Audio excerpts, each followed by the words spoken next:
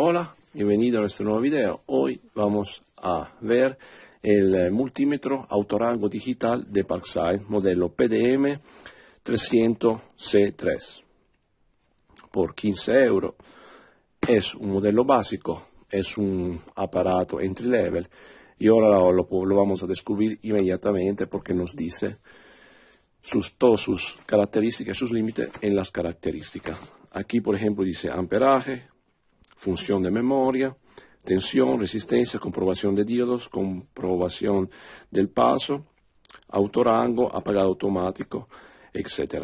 Ha incluido una pila. Entonces aquí nos dice algo más, o sea, para medir el amperaje, el voltaje y la resistencia, así como para comprobar el paso y los diodos.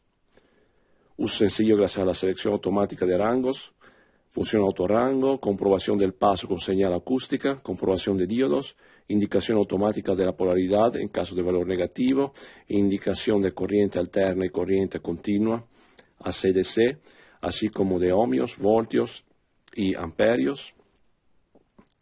Dos bornes de medición con cable de medición, aproximadamente 80 centímetros de largo cada uno, pantalla LC, grande de fácil lectura, con función de memoria y función de apagado automático, pie plegable, incluye destornillador, pila e instrucciones. Aquí nos dice categoría de medición, categoría 3, 300 voltios, rangos de medición, corriente continua entre 0,1 mV y 300 voltios.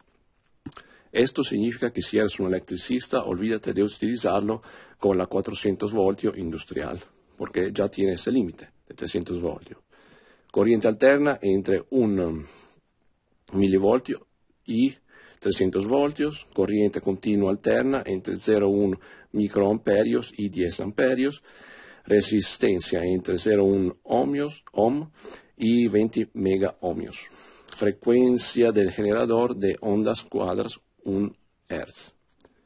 Entonces, por 15 euros nos da bastante. Es un aparato entonces para el bricolaje para hacer mediciones en casa. Vamos a ver, abrir. Aquí tenemos nuestro aparato. Aquí tenemos las instrucciones. Tenemos el destornillador. Tenemos los bornes. Y aquí tenemos la pila. Para poner la pila tenemos que destornillar aquí.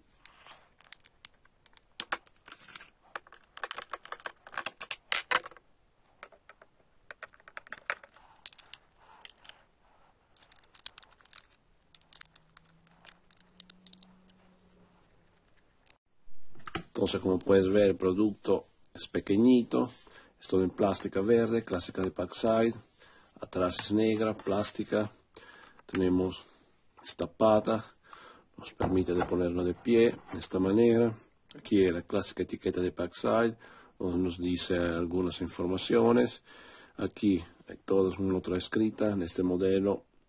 Está todo en alemán, bueno aquí adelante podemos ver el on off el botón rojo que nos sirve para elegir entre corriente alternata, corriente directa, hold para memorizar o tener ahí una medición que hemos hecho y la otra la vamos a ver después, o sea, hay resistencia, ohm, tensión, muy importante aquí donde podemos ver 10 amperios, entonces aquí sirve solo para los 10 amperios. Para todas las otras medidas tienes que utilizar esto, o sea, negro con negro y rojo aquí. Aquí están las dos sondas. Los giros para ponerlo tiene que quitarle cabezal. Como te he dicho, el negro tienes que ponerlo aquí. Y para medir una tensión tienes que ponerlo aquí. Si lo pones aquí porque tienes una distracción y vas a medir una tensión, lo vas a dañar, se va a crear un cortocircuito y vas a dañar este aparato que costa, tiene un costo de 15 euros, también vas a dañar otro que te va a costar el doble o tres veces. Entonces, mucha atención porque son cosas que pueden, pueden suceder. Entonces, lo voy a poner ahí, como puedes ver, aquí hay las cifras que bailan, se mueven. Esto es normal en todos los multímetros. Si quieres que se ponga a cero, tienes que poner en continuidad. Lo hace en continuidad así, pues sale el circuito, está en cero. Las puntas, como puedes ver, son hechas en esta manera y como está escrito en el manual, tiene una protección 3 hasta 300 voltios y en otros aparatos este capucho, este cabezal, como puedes ver, dejan solo abierta esta puntita y a veces eh, es incómodo, a veces no, pero a veces puede ser incómodo. Entonces te, dan la posibilidad de quitarlo. Si lo quitas, obviamente no vas más a tener la protección a 3 y va a bajar, pero es normal que quien lo hace sabe lo que está haciendo. Yo, por ejemplo, lo uso solo para medir bajas tensiones, como por ejemplo de una batería de Parkside a, a 20, 20 volts. Entonces no tengo miedo de eso. Entonces ahora lo puse en volt ¿sí? Eh, direct Correct. Aquí como puedes ver tenemos DC que nos dice, entonces voy a poner el cable rojo donde nos da el signo del más aquí un poquito angustio pero vamos a ver si podemos si lo toca y el negro donde está el el menos como puedes ver nos da la medición de 20 ahora no se ve muy bien entonces si lo puedes ver un poquito mejor nos da 20 volt 3 que es, eh, significa que esta batería de 20, 20V está completamente cargada. Si por ejemplo recuérdate entonces 20,3 si tomo una batería más pequeña pongo siempre el rojo donde está el más y el negro donde está el menos entonces nos da 1,137. Eso significa que nos está, me está haciendo la medición en milivoltios. Esto se llama auto range, auto range.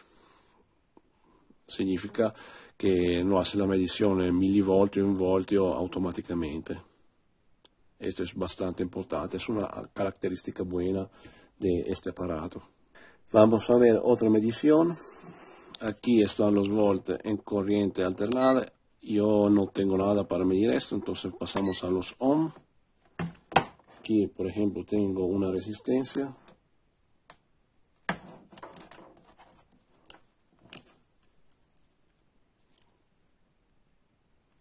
Vamos a medir la resistencia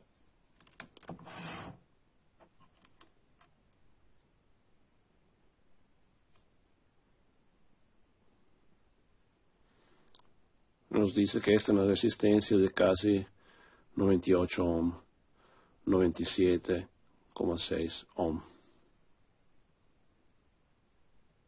Muy sencillo.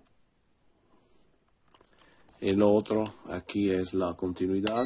Entonces muy sencillo también esto, cuando tienes que averiguar dónde hay un cable que está que tiene un corte, que está interrumpido para ver si hay continuidad. Se pones así Aquí este es un circuito y hace ruido. Si no hace ruido significa que el cable está cortado. Entonces este es el cable dañado. Ahora, después de la continuidad, vamos a medir, ponemos un diodo. Aquí tengo un diodo. El diodo tiene un sentido, o sea, deja pasar la corriente desde ahí hacia aquí. Entonces, como puedes ver, la medición es de 0,143. Esto es la, tensión mínima del diodo, o sea, bajo de esa tensión no deja pasar la corriente.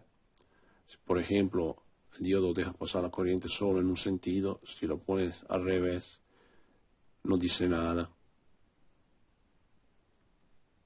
Esta es la medición del diodo. En este lado en vez tenemos los amperios, entonces tienes que poner el rojo de esta acá y medir, por ejemplo, los amperios que tienes que medir, como yo he hecho. Entonces, estas fueron mis pequeñas pruebas, fueron pruebas sencillas.